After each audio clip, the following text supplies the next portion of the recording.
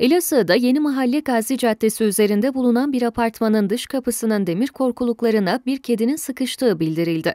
Durumu fark eden vatandaşlar itfaiye ekiplerine haber verdi. Olay yerine gelen itfaiye personeli kediyi kurtarmak için çalışmalara başladı. Ancak operasyon sırasında orada bulunan bir kadın ilginç bir yorumda bulundu. Orayı biraz genişletmeye çalışıyor ama Hayır ona çıkar oradan yavrum.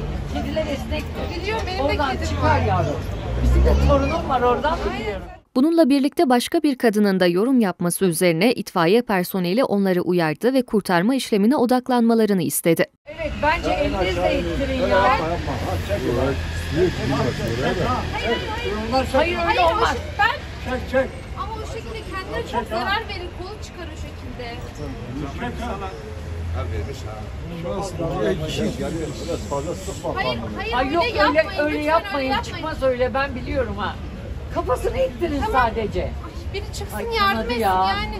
Alo bunu. Kanadı. Abi bir dakika ya.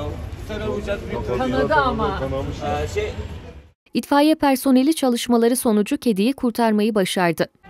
Ay ay ay ay. Girme girme girme. Aa, aa, gitsin. aa. Hayır korkutmayın da bari yavaş geçsin. Ecabet güzel. Arkasından çekilin beyefendi çıkmıyor. Uçak kesecek. Çekilin arkasından.